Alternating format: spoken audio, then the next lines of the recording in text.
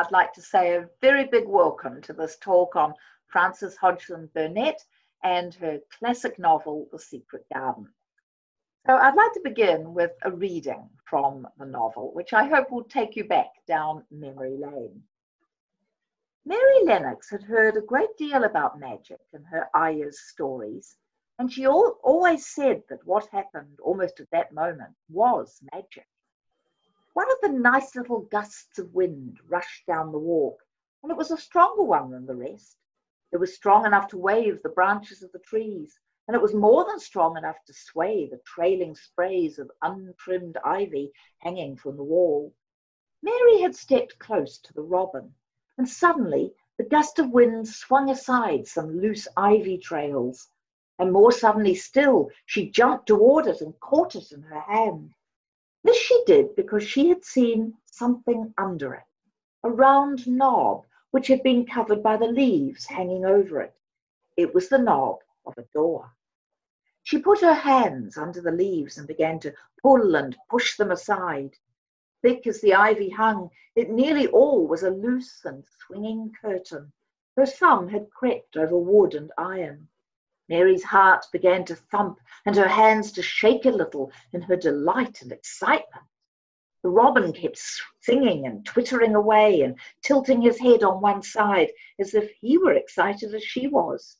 What was this under her hand, which was square and made of iron, and which her fingers found a hole in. It was the lock of the door, which had been closed ten years, and she put her hand in the pocket, drew out the key, and found it fitted the keyhole. She put the key in and turned it. It took two hands to do it, but it did turn. And then she took a long breath and looked behind her up the long walk to see if anyone was coming. No one was coming. No one ever did come, it seemed. And she took another long breath because she could not help it. And she held back the swinging curtain of ivy and pushed back the door, which opened slowly, slowly. Then she slipped through it and shut it behind her and stood with her back against it, looking about her and breathing quite fast with excitement and wonder and delight.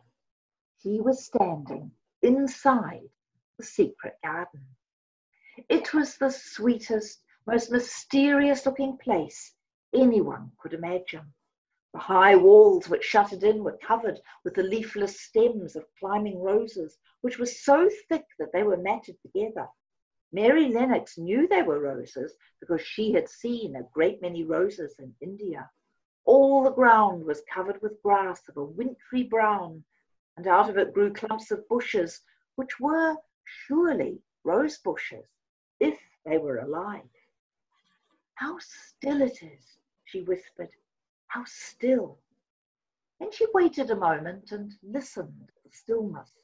The robin, who had flown to his treetop, was still as all the rest. He did not even flutter his wings. He sat without stirring and looked at Mary. No wonder it is still, she whispered again. I am the first person who has spoken in here for ten years. She moved away from the door, stepping as softly as if she were afraid of awakening someone. She was glad that there was grass under her feet and that her steps made no sounds. She walked under one of the fairy like grey arches between the trees and looked up at the sprays and tendrils which formed them. I wonder if they are all quite dead, she said. Is it all a quite dead garden? I wish it wasn't. If she had been Ben Weatherstaff, she could have told whether the wood was alive by looking at it, but she could only see that there were only grey or brown sprays and branches, and none showed any sign of even a tiny leaf bud anywhere. But she was inside the wonderful garden, and she could come through the door under the ivy any time, and she felt as if she had found a world all of her own. So that's Mary's lovely entry into the secret garden. Now, Little Lord Fauntleroy and the Secret Garden are children's classics. They were written 25 years apart, and the author was considered, along with Henry James, as one of the leading writers in the United States because of the books that she wrote for adults. One critic even compared her with George Eliot, which seems extraordinary to us today. This is the President of the United States, President Garfield. He absolutely adored the novels of Frances Hodgson Burnett. She was admired by Gladstone, by President Garfield, by Henry James. She was an amazing traveller who crossed the Atlantic 33 times. She was involved in a lawsuit which she won, which helped change English copyright law. He also survived two broken marriages and the death of a son. And I think Frances Hodgson Burnett's favourite theme was the idea of a reversal of fortune, a sort of rags to riches or riches to rags story. And that is something that appears very frequently in her fiction. Now, she was born in the industrial city of Manchester on the 24th of November 1849. Engels, who was living in the city at that time, wrote of the horrific conditions in this Victorian industrial city. He wrote of how a multitude of covered passages led from the main streets into numerous courts, and he who turns thither gets into a filth and a disgusting grime, the equal of, equal of which is not to be found. And this illustration gives some idea of the chimneys and the factories of industrial Manchester. And the slums there were truly terrible. Now, the Hodgson family, she was born Frances Hodgson, lived right on the edge of the slums. And I think she grew up very aware that if you just slipped a little way and lost money, you would end up in these terrible slums too. The father worked as an ironmonger and a silversmith. And they had come down in the world from what they had been used to. And even in her poorest moments, when she was very hungry, Mrs. Hodgson would refuse to sell the little bits of nice linen and silver that meant her she was still genteel. She really clung to that sense of gentility. And uh, this mother placed on her daughter Frances a great stress on this idea of good manners and gentility. Now, young Frances was a strongly imaginative child and she loved making up stories. In 1853, so she was just a, a little girl of four, uh, her father ended up dying from apoplexy. And Mrs. Hodgson gave birth to another baby just a few months after her husband died. She had five children to care for and a little business to keep running. So various relatives helped, but it was a very precarious childhood when it came to family finances. And young Frances really escaped into books. In fact, she later said that her life was a life founded and formed upon books. A very important book for her when she was a child was one called The Little Flower Book, and this seems to have had a great influence on her writing of The Secret Garden. Here's another picture of a slightly more respectable side of Manchester. Now, she had dolls as a child, and she loved making up doll uh, stories about her dolls, as Sarah Crewe does in the novel The Little Princess. She has her doll Emily, and she tells Emily's stories. She went to a school run by two clergymen's daughters. Now, at that time in Manchester, a third of the children of the city had no education whatsoever. So Frances was lucky that she got a good education at the school she attended. But her family moved often, and she was always aware of the barefoot, hungry children working in the factories nearby. Uh, and in one street, very close to where she lived, there was one privy for 380 inhabitants. This, in fact, is the Manchester described so vividly by Elizabeth Gaskell in her novels Mary Barton and North and South. Frances loved the way the slum children spoke. Her mother was always telling her to talk genteel, but she actually was fascinated by the dialect used by the slum children, and that would come through in some of her later novels. She was evidently a very good mimic when it came to accents. And at school, she was so good at telling stories that her schoolmates just kept begging her for stories. And she would keep a whole story going for weeks and weeks as she entertained all of her school friends. Was also at this early stage writing poetry. But things were very hard for her mother coping with five children, and there were at this time a lot of bankruptcies in Manchester. Finally, she decided to sell the business and move off to the States, where one of her brothers had gone to live in Tennessee. He was running a little store there. So Mrs. Hodgson thought, right, we've, we've got a better chance of things uh, looking up for us in America. In 1865, the family sailed from Liverpool with young Frances very excited indeed about the move. She was 15, she was romantic, she was curious about the big world out there. So they ended up in the States. But when they got there, they found that the uncle's business was actually doing very badly just at the end of the Civil War.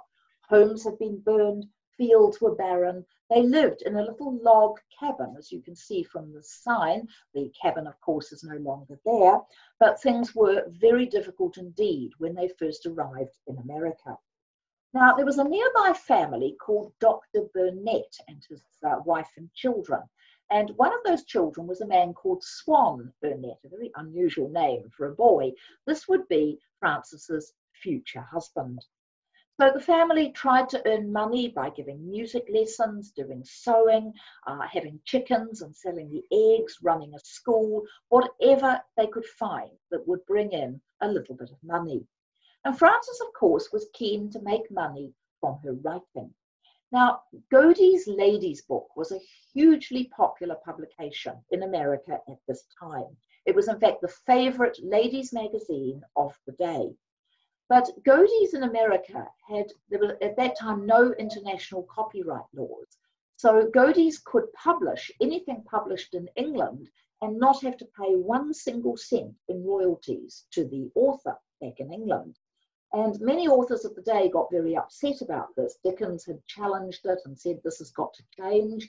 Uh, and uh, Frances would bring about a lot of change to this lack of decent copyright laws.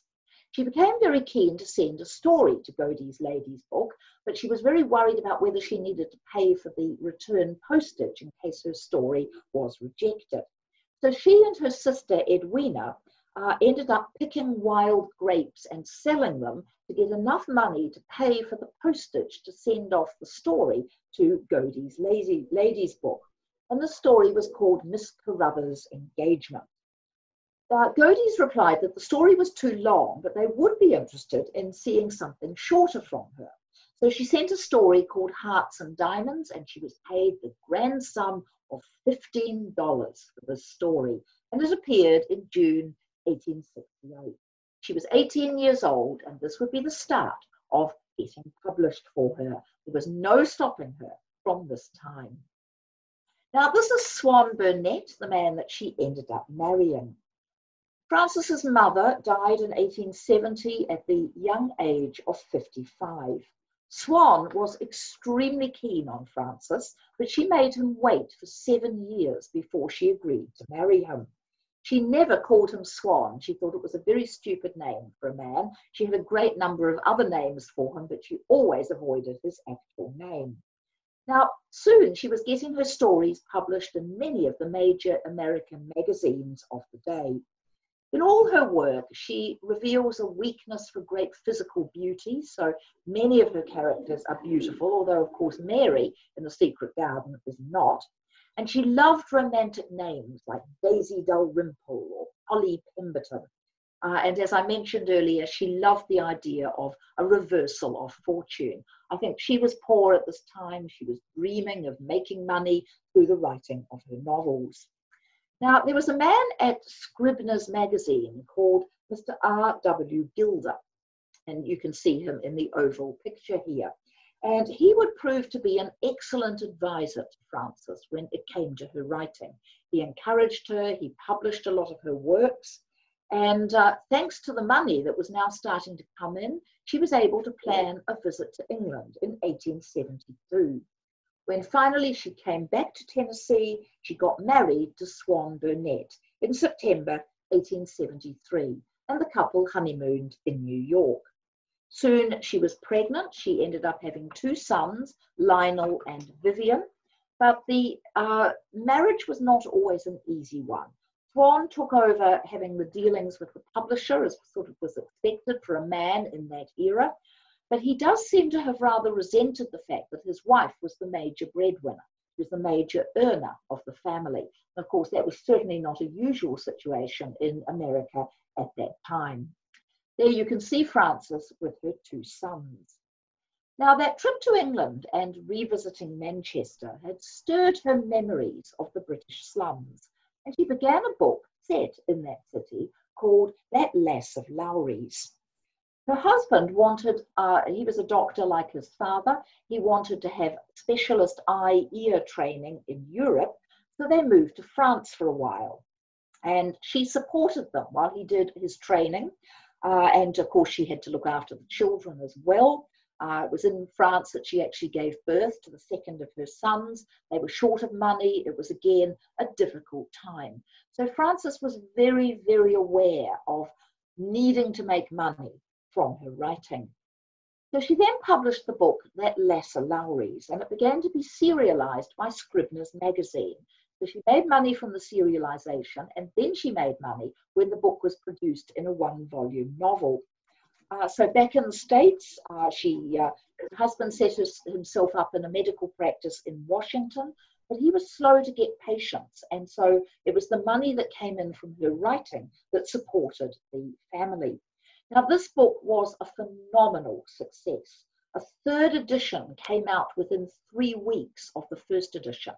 I suspect that none of you out there have read that Lass of Lowrie's. I have not even seen a copy of the book but it was an amazing bestseller in its day. It dealt with the squalor of the Manchester slums, and Americans of the day seem to have loved their squalor at a distance. There was plenty of, of poverty in the New York slums. They didn't want to read about that. They didn't want to read about racial poverty and things like that in America. Uh, stories dealing with the New York slums didn't sell nearly as well, but they loved reading about the slums over in England. So from this time, her earlier stories were all reissued, and really everything she wrote from this time sold extremely well. She really just couldn't write fast enough for her publishers. This is another novel of hers, 1879. It sold uh, 10,000 copies in its first few weeks alone, and it also sold very well in the UK. Some of her works were being adapted for the stage, and because there were no proper copyright laws, anybody could just suddenly adapt her, her novel into a play and she wasn't paid anything for, for, the, uh, for the story.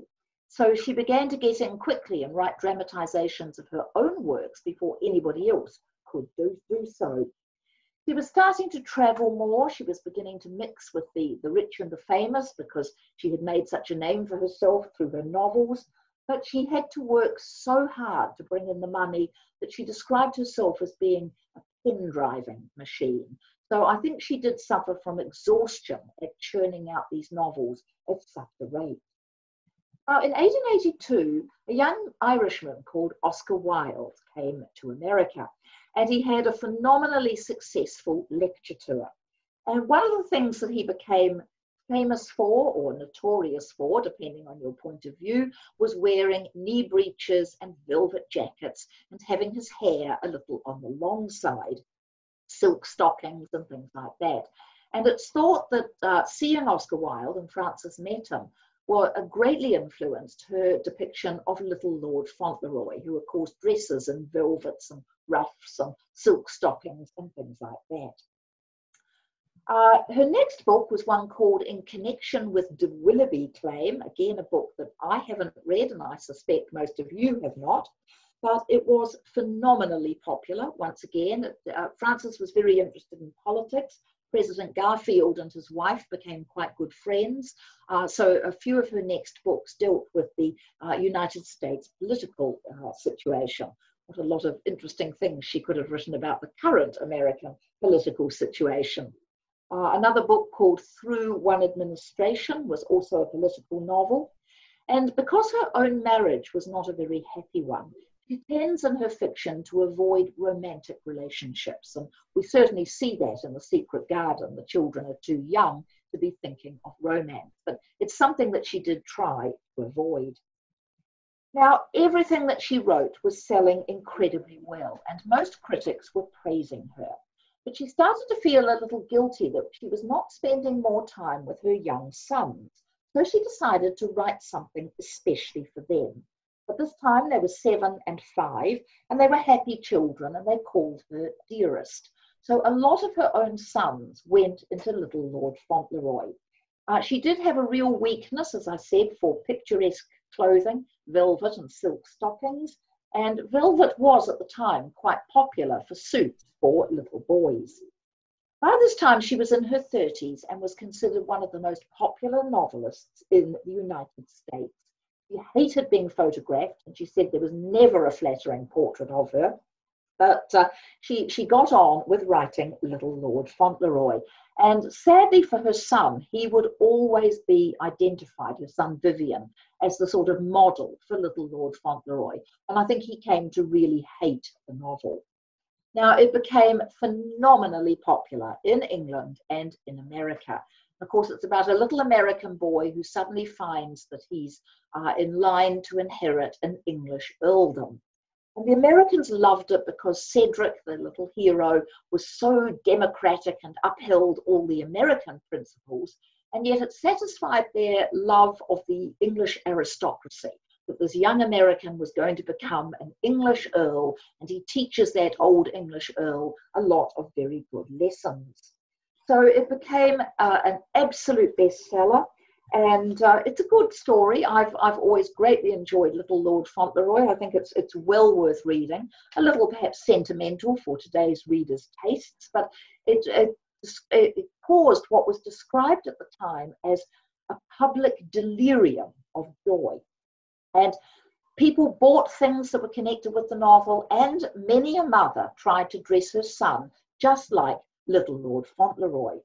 So there you can see a little boy dressed in little Lord Fauntleroy style. There were little Lord Fauntleroy playing cards and all sorts of merchandise connected with this novel. Gladstone, the English Prime Minister, adored the book. So it was published as a book in October 1886, and one year later, 43,000 copies of the novel had been sold, which was a huge number for that time. In fact, the book became one of the biggest sellers of all time. The only other book that was in more American libraries than Little Lord Fauntleroy was Ben Hur. And as you can see from this, it was translated into many different languages. So it became phenomenally popular. And there you can see William Gladstone, one of the great admirers of the novel. Gladstone was a wonderful reader and had a fantastic library. So, uh, whether you share his politics or not, I've always had a soft spot for Gladstone because of his very passionate love of novels. Now, her next book was one called Sarah Crewe, published in 1888. This was sort of a, an early version of her novel, The Little Princess. She and her boys sailed to Britain for the 50th Jubilee year uh, and they wintered in Europe. He actually met Gladstone on that visit and he commented to her that he believed the book would have a great effect in bringing about good feeling between the two nations. Then suddenly she heard that a man in England had made a dramatic version of Little Lord Fauntleroy. She was furious and felt it really was time that copyright laws were changed because she was making no money from this theatrical version. So in 1888, there was a very big court case where she fought this man and the man had to give up his play and pay all the costs of the court case. And from this time, copyright would really change for authors. And Frances wrote her own version of the play, and for many years, in the theatrical versions, the little boy Cedric would be played by female actors. So uh, the Society of Authors was so delighted by what Frances had done for copy, changing copyright laws that they put on an enormous dinner to celebrate all of this. Frances was the main guest. She was presented with a beautiful diamond bracelet by the Society of Authors, and the card that went with it was signed by 84 English writers, including Tennyson, Henry James, Rider Haggard, George Meredith, and the Irish writer Oscar Wilde. So after all of this excitement, she went back to the United States. And as you can see from these two pictures, she was very fond of clothes and uh, when she had to have the hated photographs taken, she made sure that she dressed very well for them. Here you can see her young son Vivian dressed a la little Lord Fauntleroy. So Fauntleroy clothes were now the fashion all over Britain and the United States. In the state of Iowa, an eight year old boy burned down his father's barn in protest at being made to wear such clothes. It really did become a mania. One boy who really struggled with it was a young boy called Alan Alexander Milne. We know him as A. A. Milne. His mother had read Little Lord Fauntleroy. She was determined to dress him in this style. She wouldn't let him have his hair cut till he was about, I think it was eight or nine years old. And Milne would later look back and say that the day he had his hair cut short was the happiest day of his entire life. So he came to loathe the novel Little Lord Fauntleroy. Now, during these next years, Frances was constantly backwards and forwards between England and the United States. She continued to churn out novels and stories, and here is one of hers serialized in Scribner's magazine, The Pretty Sister of José. Uh, the Fortunes of Philippa Fairfax, The Captain's Youngest, Editha's Burglar, and many of these stories were also turned into plays, so she made more money from them when they were dramatized. Now, in England, she had met a man called Stephen Townsend. He had trained as a doctor, but he really wanted to be an actor. She would end up doing an enormous amount to help him. He became for a while her secretary, then he became her doctor, and finally, he became her second husband. Now, Frances in the year 1888 was thrown from a horse and was uh, very ill for some months after that accident, and she seems to have sunk into a depression. In 1890, her son Lionel fell ill during a very bad flu epidemic, and it turned out that he had tuberculosis. She returned to uh, the, the United States to get him. She took him to Europe. She nursed him very devotedly through his illness, and he died in Paris in 1890. She collapsed as a result of her terrible grief over losing her son. And from this time, she did a lot of work for charities for young boys. And there we can see a couple more pictures of Frances. It took a long time before she could write another good book after losing her son. Now, she became very interested in the Regency period, a period in which I have a great deal of interest because my favourite novelist, Jane Austen, lived in that time. But she would end up writing quite a few books set in the time of the Regency. Uh, there was a play called The First Gentleman of Europe, there was a novel called A Lady of Quality. She also turned that into a play, and another book called His Grace of Osmond. And all of these books were selling incredibly well. But do you ever see any of these books today in secondhand bookshops or libraries? Apart from her three main classics, you just do not see any of her other works. In London, she mixed in literary circles. She knew people like Aubrey Beardsley, George Moore, Edmund Gosse, the Du Maurier family, Mrs. Humphry Ward, another very popular novelist of the day. And she and her husband Stephen collaborated on turning this particular novel, A Lady of Quality, into a play. Now, she was seeing quite a lot of her sister Edith, and you can see Edith in the picture here. And Edith was a little short of money, and Frances would sort of play fairy godmother, giving money to Edith and her children. And she helped many of her relatives and friends. In 1898, she and her husband Stephen were divorced, and divorce was far from normal at that time. This is the home that she had in London. It's in Portland Place, and you can see one of the famous London blue plaques on the wall there. But she was getting a little sick of living in London and she ended up buying a country property. So you get a sense of how much money she was making from her novels when you think that this was what she was able to afford from writing them. I wish I could earn the sort of money from writing that would buy me a house like Maytham Hall, a truly gorgeous home. And this would be the house, or more particularly its garden, that would inspire her most famous novel. She loved the idea of being lady of the manor, and uh, she was much loved by the local people to whom she was extremely generous. Now, Great Maytham Hall had a walled garden, and it would be this garden that would inspire her novel. But first, she worked on a very long novel called The Shuttle, which uh, also sold fairly well. She turned her novel Sarah Crewe into another novel, The Little Princess, my own personal favourite of her books, uh, and she also turned it into a play. And it came out as a novel in 1904. It's thought that some of The Secret Garden was written in this little writing hut or garden hut at Great Maytham Hall. I love the novel, The Little Princess. That was the one of hers that I reread most frequently as a child. It's a riches to rags and back to riches story. And again, it was phenomenally popular when it came out as a novel in the year 1904.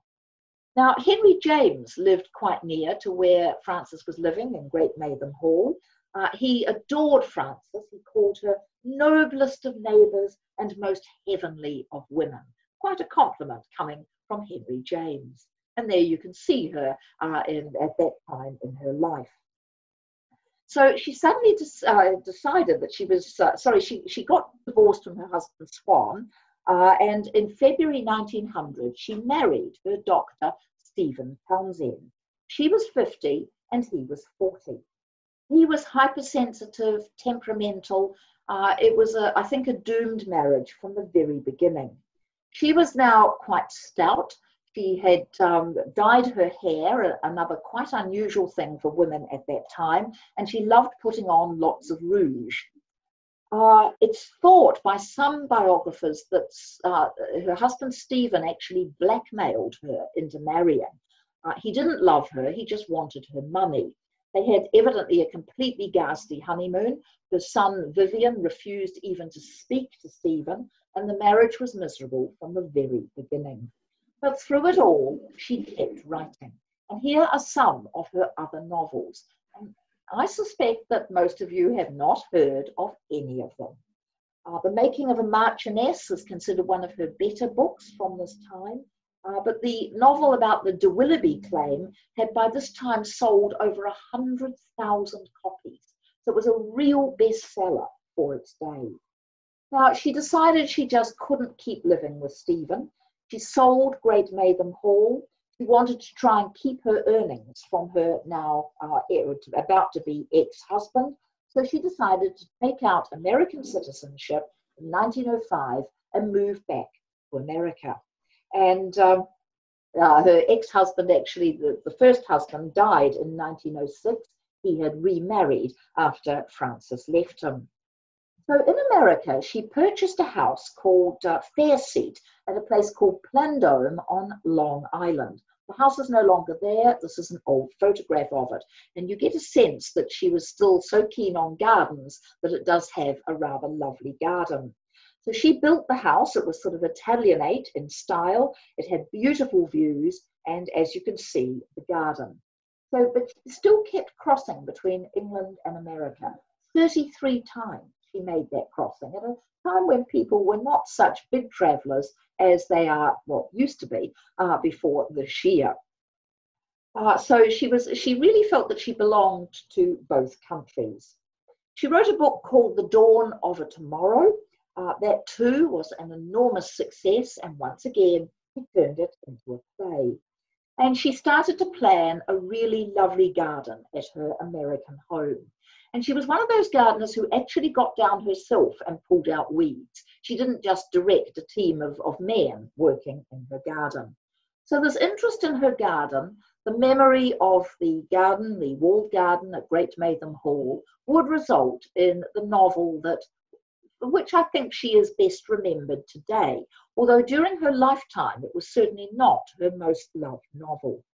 The Secret Garden came out in 1911 and it charmed everybody. Frances had been reading Jane Eyre by Charlotte Bronte for the first time, and I think you can see echoes of Jane Eyre in this book. It's also set in Yorkshire. There are strange cries from an upper story during the night. There is a rather plain heroine. Uh, you can see many things that were influenced by her reading of Jane Eyre. And I think, like Charlotte Bronte, she did something quite uh, unusual in choosing a disagreeable heroine and also a hypochondriac boy. We hear in the novel When Mary Lennox was sent to Misselthwaite Manor to live with her uncle, everybody said she was the most disagreeable looking child ever seen. But what's so wonderful about the novel is that the garden brings about a transformation in the lives of two very unhappy, and perhaps today we would say abused children. She shows excellent psychology in the novel, and she shows that children can be self reliant and they can bring about improvements in their own lives, particularly if they work at something. And I think a lot of the message of this novel is the importance of work. The novel was full of good gardening detail. It's been said that you can learn about pruning roses just from reading this novel. And Frances loved detail. She always said it was uh, not enough to mention that characters sit down and have tea. She said, you must specify the muffin. You've got to say what's eaten for tea. You can't just say they sat down and had a nice tea.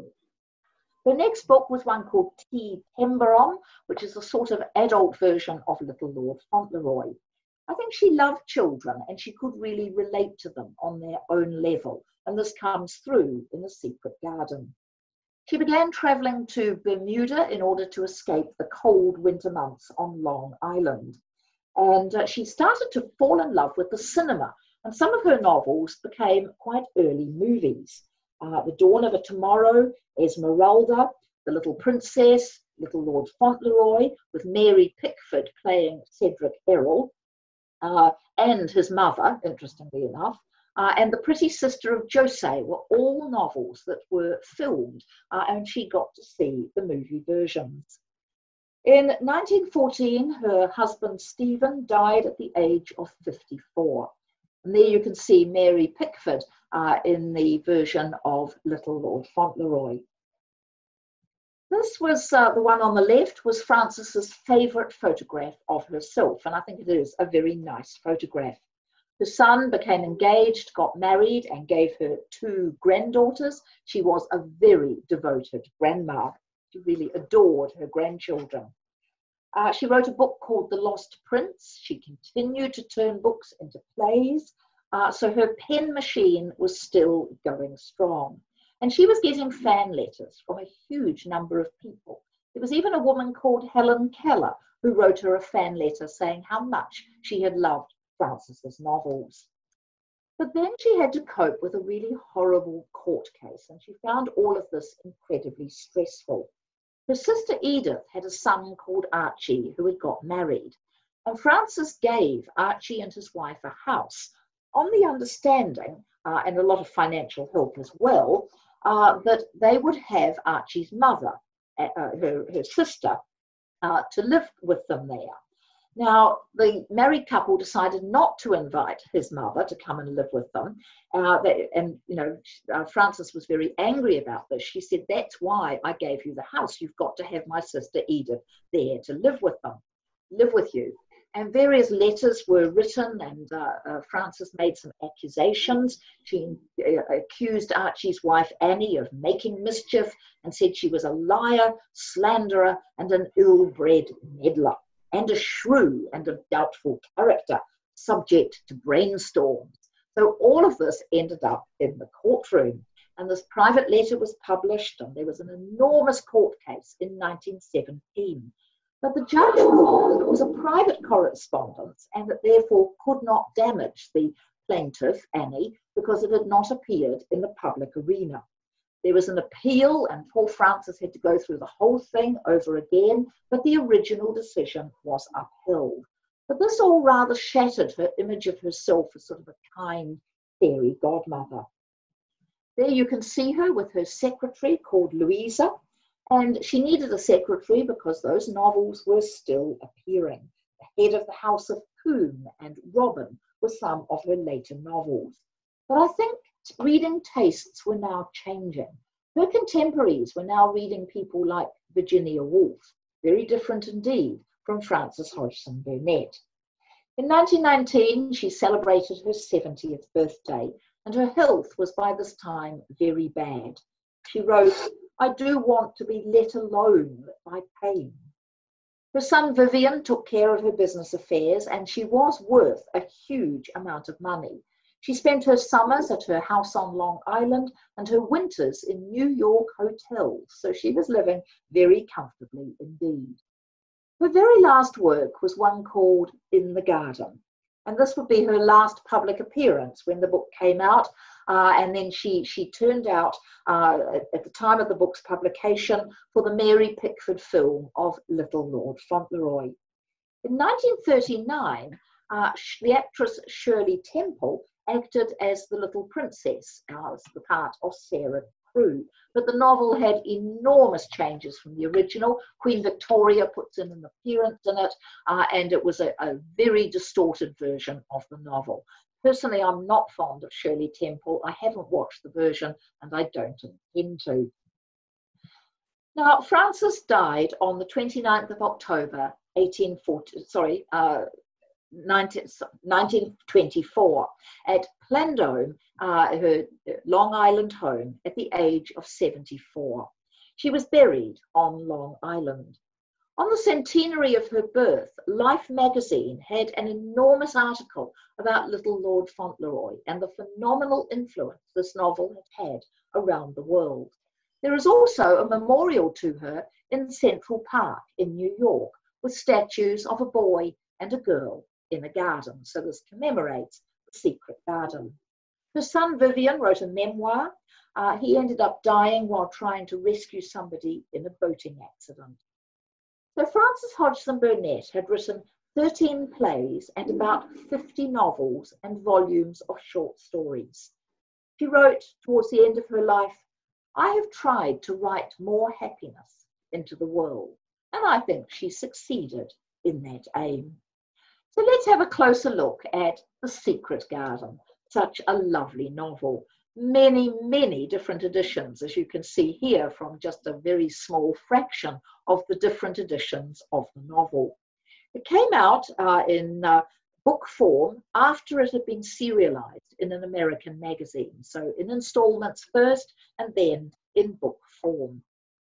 Young Mary, the heroine of the novel, is 10 years old neglected, and unloved. She's grown up in India with parents who have no interest in her whatsoever. She's spoiled, very self centered, and she's been used to being cared for by very devoted Indian servants. So, when her parents die in a cholera epidemic, she is sent to live with a relative in England in a rather gloomy Yorkshire house called Misselthwaite Manor. She hears from the servant Martha about her aunt Lilias, who loved the garden that was on the estate. She grew roses there. But then her aunt died from an accident, and so the garden was closed up and people don't go into it. And during the night, Mary hears strange cries from somewhere else in the house.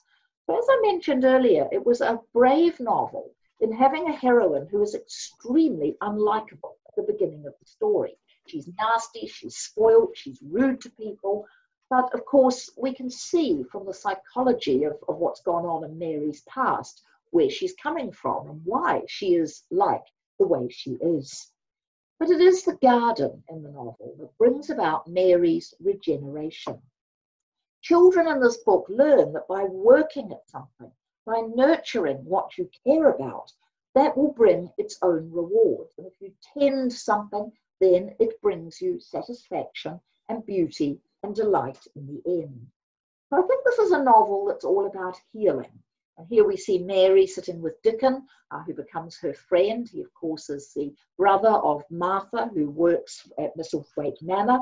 So he's a servant boy. Again, she's showing a, a slightly more upper class young girl becoming friendly with servants, something again quite, uh, quite radical for that time and she shows how the garden brings about the friendships of the children and it begins the healing process from the damage that has been inflicted on them due to their very uh, strange and unhappy childhoods.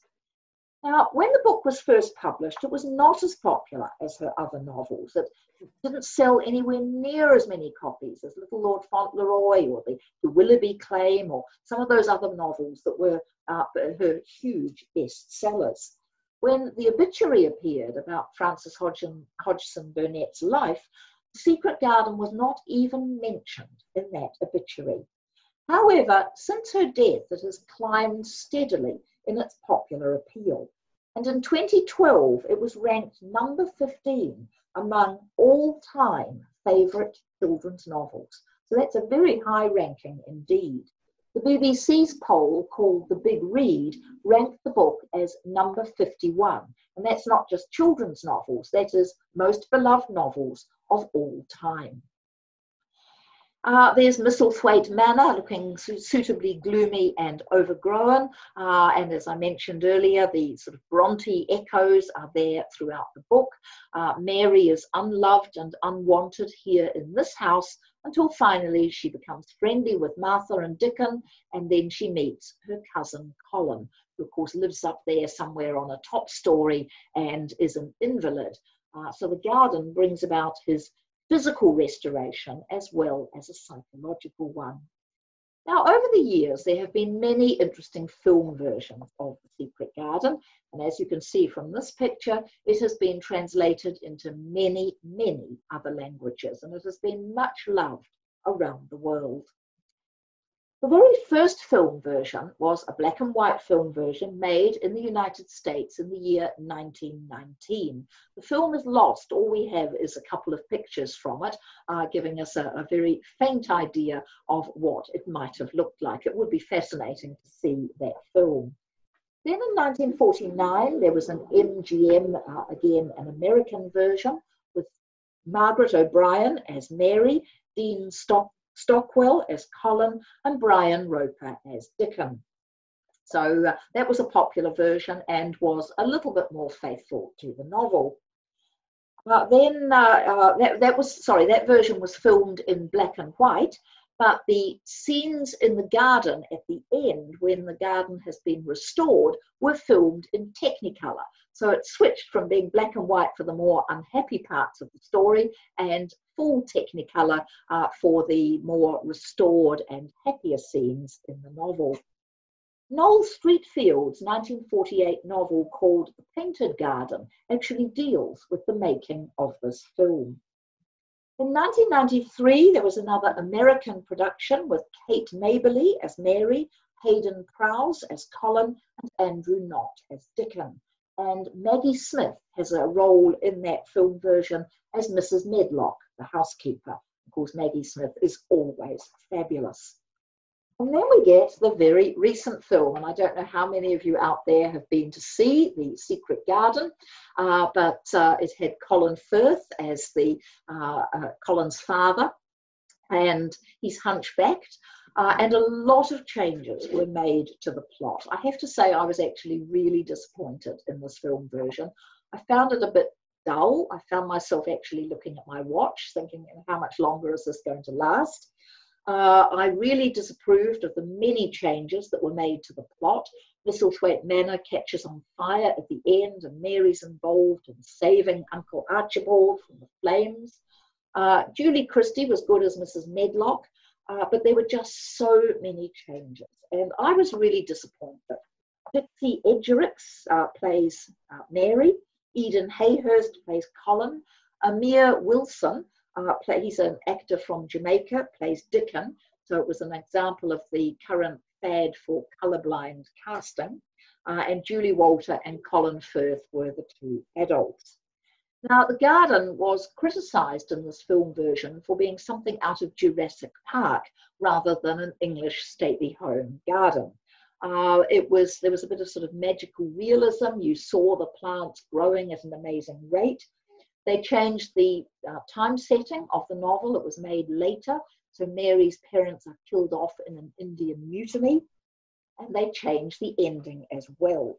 But what really upset me in this film version is that the children do not do one second of work in this garden.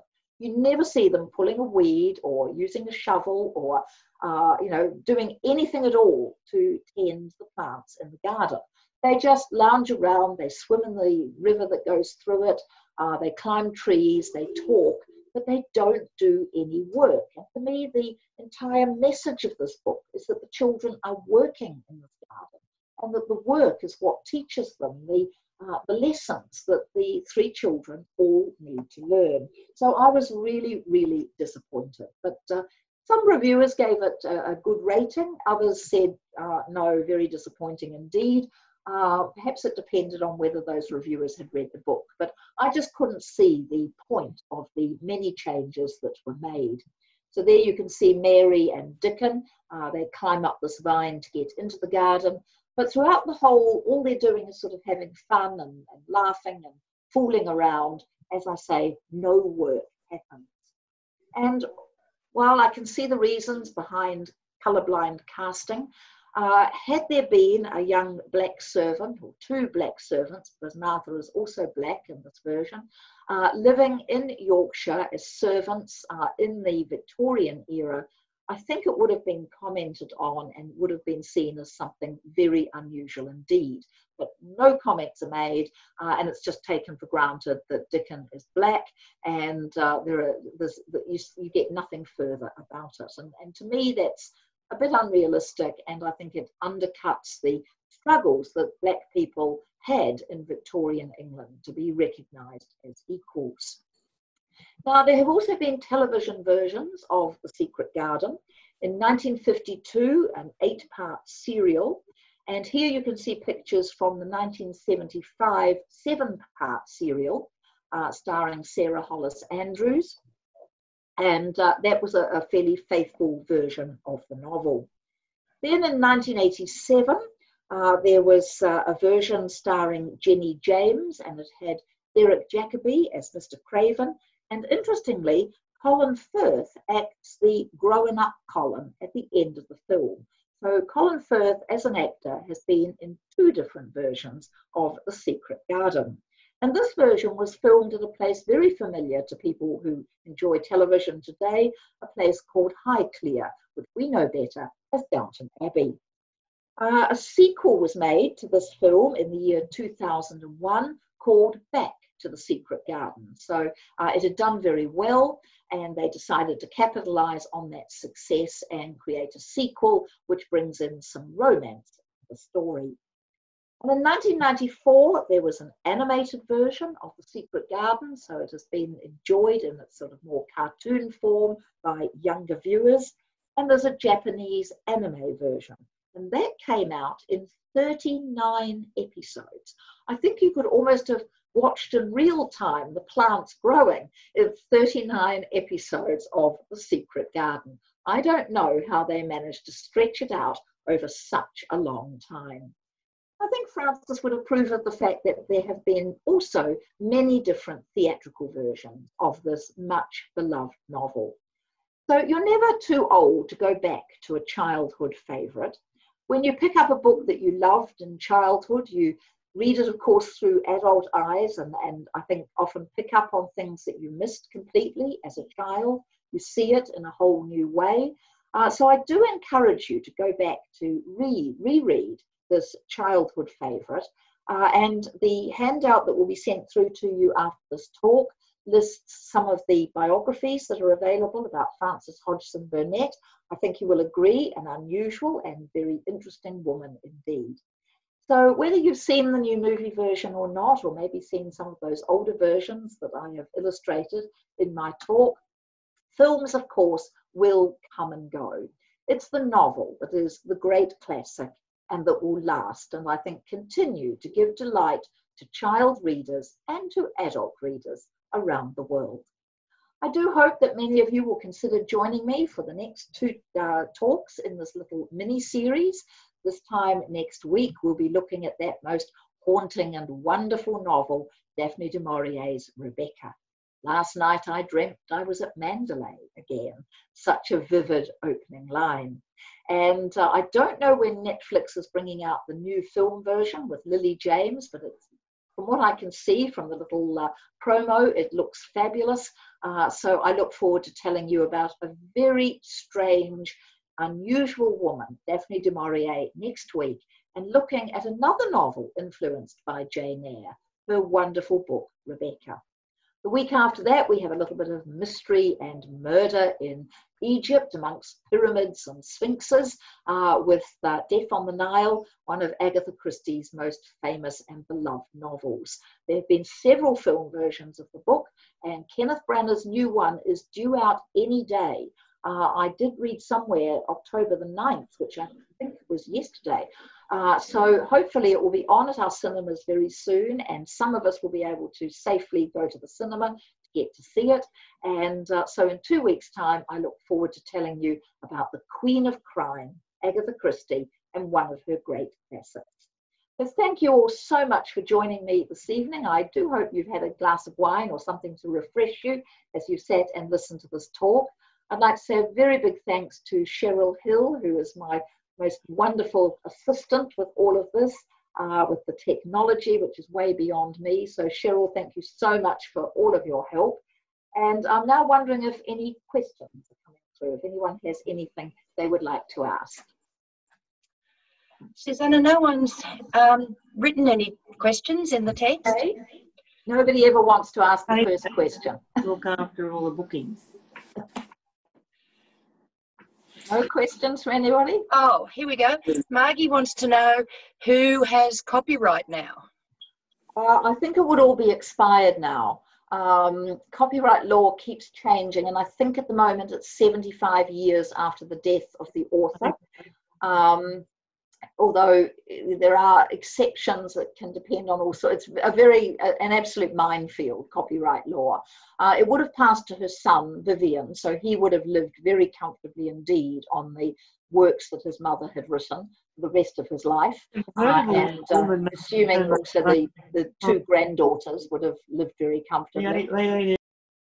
but uh, yes, now it would it would be expired, and so any publisher can bring out a copy of the Secret Garden and produce it with, with or without illustrations, do what they like to it. It can be sequeled, prequeled, adapted, uh, and no copyright has to be paid. Um,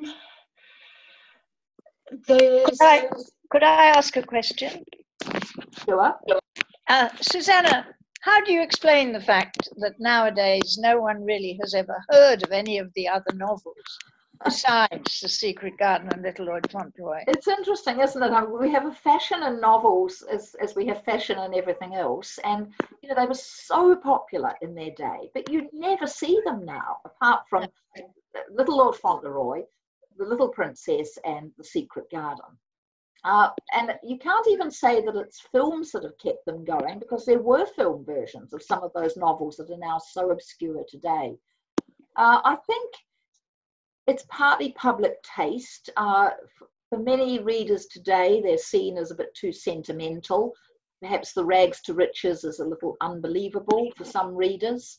Um, sadly, children are not reading classics as much. So, but you know, I didn't get these books as a child, apart from the, the main three. Uh, so they've clearly gone out of fashion, you know, well before I was a child in the in the 1960s.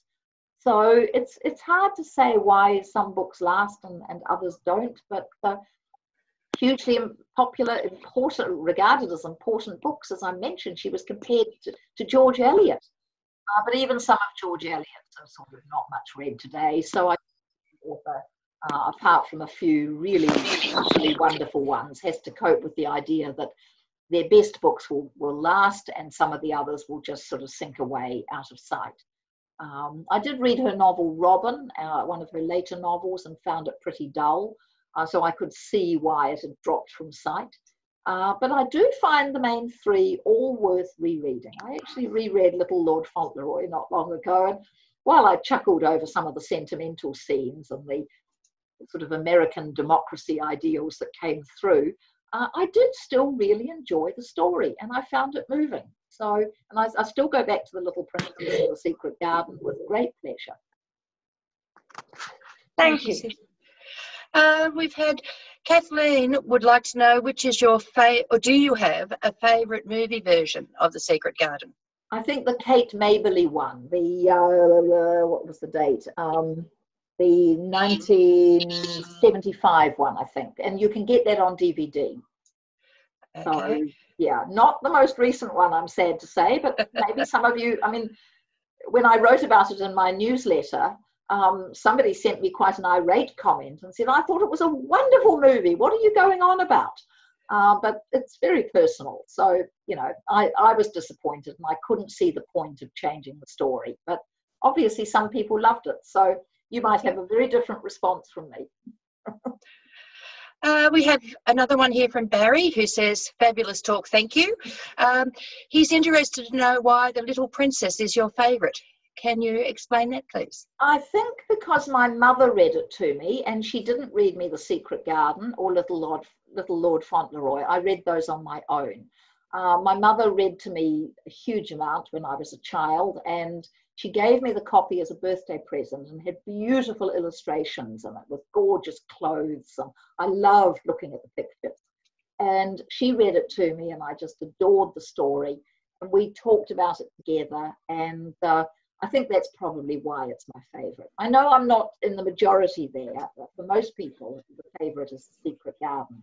But uh, for me, it's the, it's the Little Princess. Uh, and there were Indian characters in it. Uh, Sara, like Mary Lennox in The Secret Garden, had lived in India with her father. Uh, and there's a, a, very vicious school teacher. Uh, I love the exoticism of the, the Indian characters. Um, so I, it was just, and it was a wonderful depiction of, of child poverty in Victorian London. Uh, mm. young Sara is, is often hungry but she when she has a, a, couple of buns given to her, she gives them away to a child who's even hungrier than she is. And I uh-huh. remember thinking that was so noble. I wasn't sure that I could give away any buns when I was starving. So it was a novel, I think, that left a deep impression on me, and I've loved it ever since. Thank you. Uh, just a, a, message from Helen who says, We visited the Lost Gardens of Heligan in Cornwall. I really felt I was in the secret garden. Oh, good. I've never been to the Lost Gardens of Heligan and I would love to go there. Everyone says they're fabulous. So it's on my list when we can start traveling again. I hope to get there. Um, so thank you for sharing that. That will add to my uh, uh, anticipation of getting there one day. Okay, um, I don't have any other messages unless anyone else does. You could uh, perhaps unmute yourself if you'd like to ask Susannah something. No? No. Well, thank you all again for, for joining me for this mini series. As I mentioned earlier, it was a little bit of an experiment. We had no idea how many bookings we would get for the talks and whether they would prove popular. Uh, I'm really thrilled that you have joined me, and I do hope that you will join me for the next two weeks as well on Sunday uh, afternoons. And also, if you don't get my newsletter, do sign up for it because that will keep you posted as to what talks I have coming up. Uh, you know, what other things I'm doing in the way of tours when they start again. And uh, it's a free newsletter. It gives you reading recommendations, a lovely poem every month. I think there's a lot to enjoy in it. So do consider signing up for my newsletter if you do not already get it. Uh, and if you've, this is your first uh, talk, experience of me giving a talk, uh, I'm sorry it's by Zoom and not in person, but welcome and I do hope you'll come back for many more. So thanks everyone. I hope you've had a great weekend. I hope the week ahead will bring us decreasing figures when it comes to this dreaded uh, virus that we're all suffering from. Uh, and uh, let's hope for good health in the future and, of course, my favorite wish to give anyone lots of good reading. Keep reading, stay well, and thank you, everyone.